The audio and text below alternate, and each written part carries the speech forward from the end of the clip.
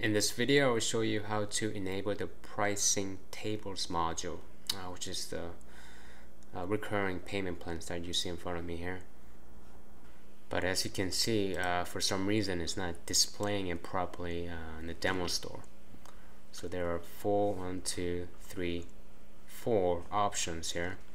Uh, I'm just gonna do one uh, when I do it as a as an example, and then you guys can do the rest.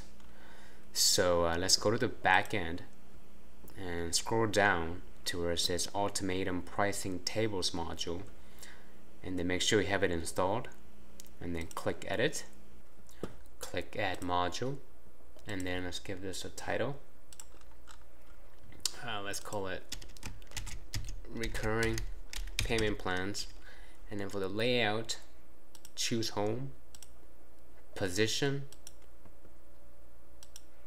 content bottom and then status enabled and then sort order 1 and then let's add section. So if you look at the demo store uh, it's got an icon of the book. So I'm gonna choose book. The background color something dark. And then for the link uh, leave it blank. Select active state I'm gonna choose no.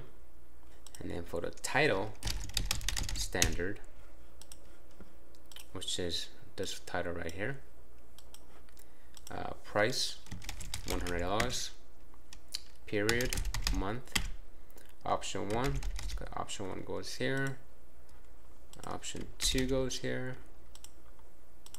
option three goes here and so on okay and then that's the first block. Uh, if you want to add another one you can add another section. Uh, I won't be doing that. So let's go ahead and click save. Go to the front end hit refresh.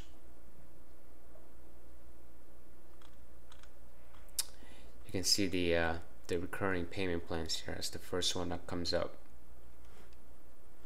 But for some reason the uh, the positioning is not correct. I want it to come below the deals of the day. So uh, let's, let's go back to the back end, go to the pricing tables module, click edit.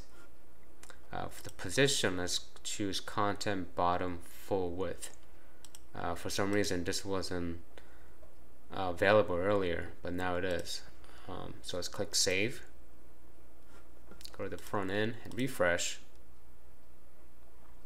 Okay, that looks better. Uh, so that's it for this video. See you guys in the next one.